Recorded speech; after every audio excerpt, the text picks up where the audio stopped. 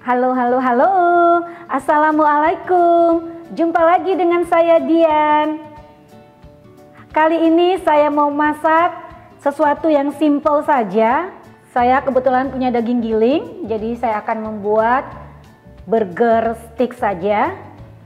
Bahan-bahan yang kita butuhkan, daging giling lebih kurang 400 gram, satu butir telur, setengah sampai 1 sendok teh merica bubuk, susu cair 30 ml, tepung roti 1 sampai 2 sendok makan, bawang bombay kita pakai setengah saja, kita cincang halus ya. Garam setengah sampai 1 sendok teh, gula setengah sampai 1 sendok teh. Saus Inggris 1 sendok makan. Dan juga kita akan gunakan butter pada waktu kita menggoreng daging sticknya. Caranya, semua bahan kita campur satu ya.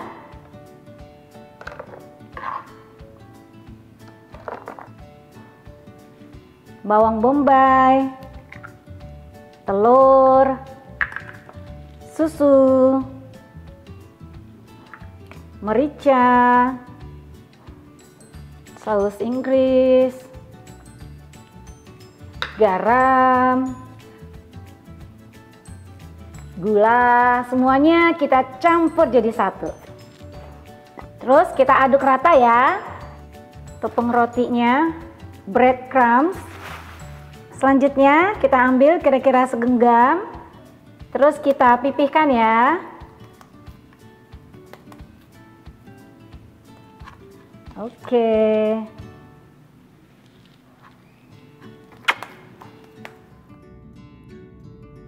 Selanjutnya, nih daging sudah selesai kita pipihkan semua.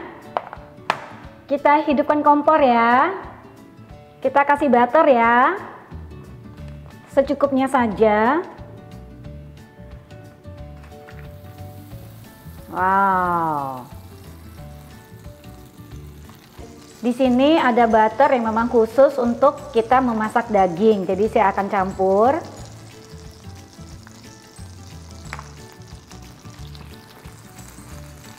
Sekarang daging kita masukkan.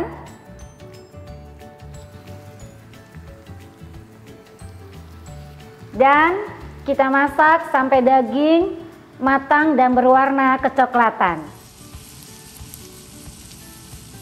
Kalau satu sisi sudah matang, daging kita balikkan ya.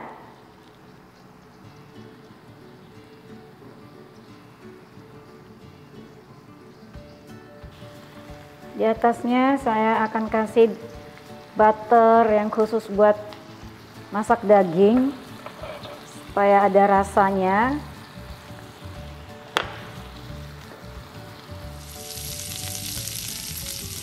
Oke, setelah matang kita sisihkan dulu.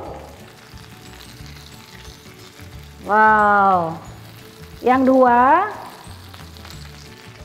ada request untuk pakai keju atasnya. Jadi saya taruh dulu kejunya supaya melted. Wow. Hmm. Wangi sekali. Jadi memang kita hanya makan stick dan sayur saja, tidak pakai kentang kali ini. Tapi kalaupun masih lapar, ingin makan pakai kentang, saya akan air fryer saja. Saya akan langsung tata di piring. Wow.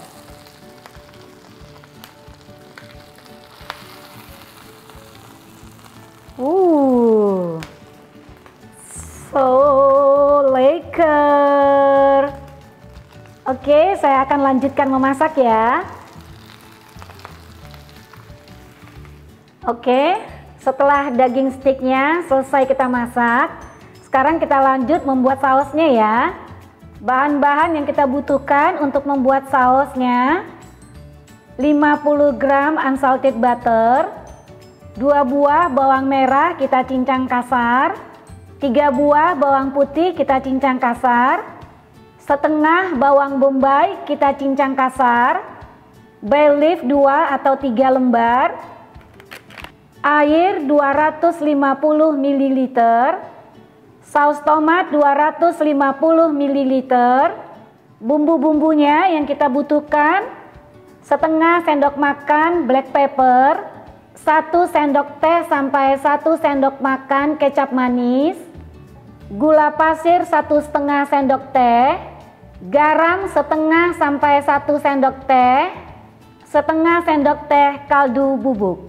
Caranya yang pertama, kita hidupkan kompor, kita masukkan unsalted butternya. Setelah butternya cair, kita masukkan bawang bombay, bawang merah, dan bawang putih.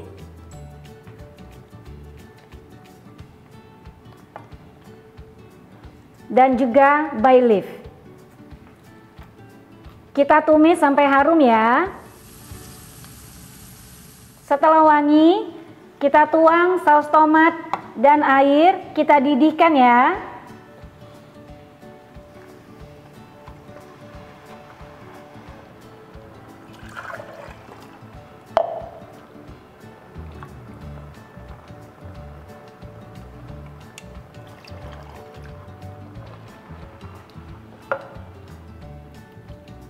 Kita masak sampai mendidih ya.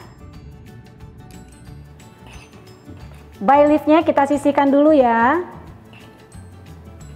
Selanjutnya kita saring ampas-ampasnya ya.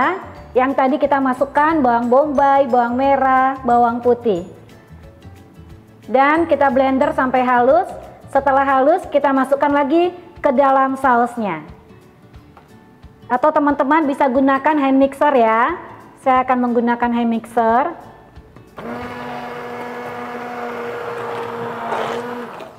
Bay leafnya kita masukkan lagi. Dan kita didihkan lagi ya. Selanjutnya kita masukkan kecap manis. Gula pasir.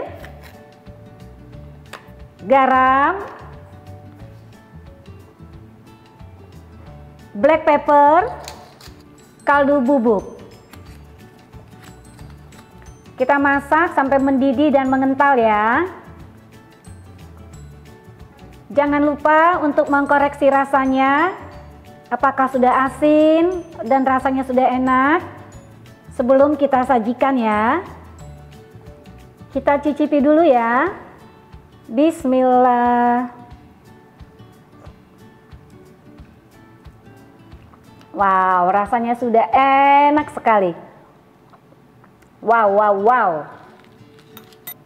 Oke, saus untuk sticknya sudah jadi. Kita sisihkan dulu ya. Selanjutnya saya akan menumis uh, sayur-sayurannya. Saya akan menggunakan sayuran botol seperti ini aja.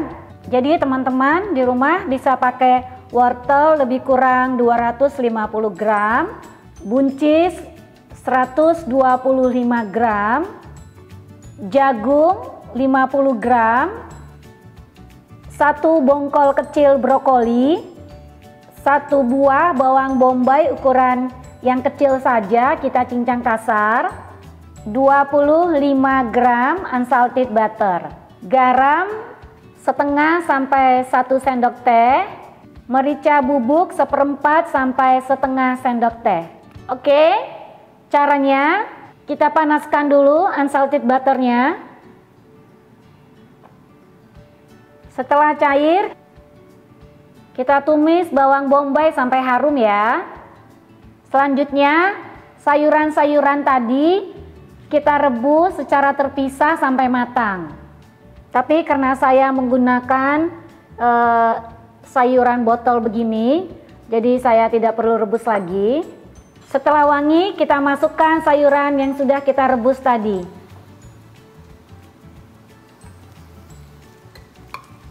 Dan juga jagung ya.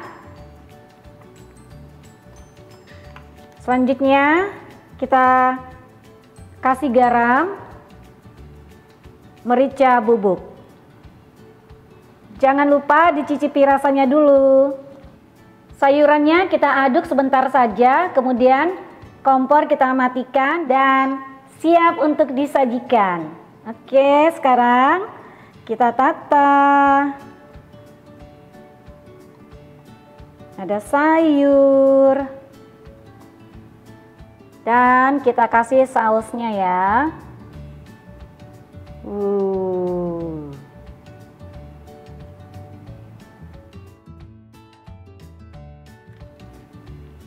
It's maklek, selamat makan. Kita cicipi ya. Wow.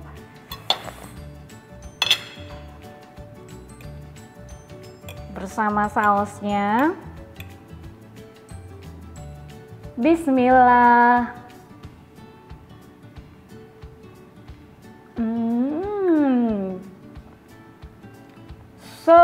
Lekker.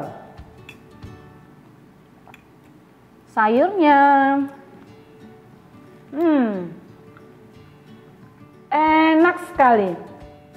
Buatnya sangat gampang kan? Dicoba di rumah ya.